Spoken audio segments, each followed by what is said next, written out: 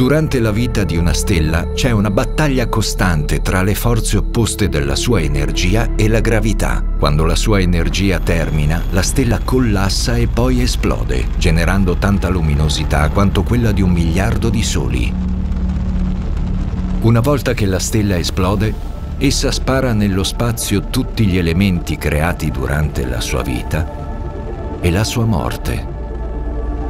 Nubi di idrogeno, collassando sempre di più sotto la forza di gravità, avviano il ciclo di vita di una nuova stella. Era proprio da una nebulosa come questa che 5 miliardi di anni fa si è formato il nostro Sole. Attorno ad esso si formò un sistema di pianeti.